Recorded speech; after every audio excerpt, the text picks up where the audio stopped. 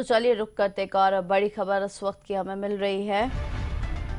आपको बता दें, रसोई गैस सिलेंडर के दाम बढ़ाए गए। पिछले 14 महीने में गैस के 43 फ़ीसदी दाम बढ़े हैं। राजधानी में अब रसोई गैस के दाम 840 रुपए। बड़ी खबर, रसोई गैस सिलेंडर के दाम बढ़ाए गए। पिछले 14 महीने में गैस के 43 फ़ीसदी दाम बढ़े हैं। राजधानी में अब रसोई गैस के दाम आठ सौ चालीस रुपए।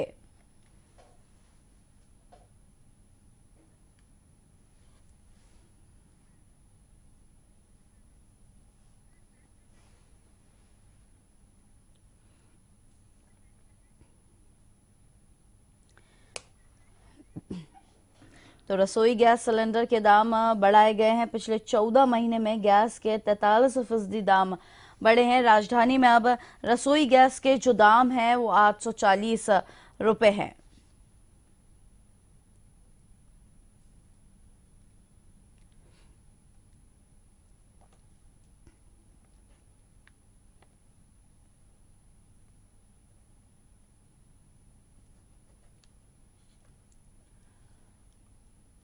तो रसोई गैस सिलेंडर के दाम और बढ़ाए गए। जिस तरीके से पिछले चौदह महीने की बात करें तो पिछले चौदह महीने में गैस के तैतालीस फ़ीसदी दाम यहाँ पे बढ़े हैं। और अब अगर राजधानी की बात करें तो राजधानी में अब रसोई गैस के दाम आठ सौ चालीस रुपये हैं।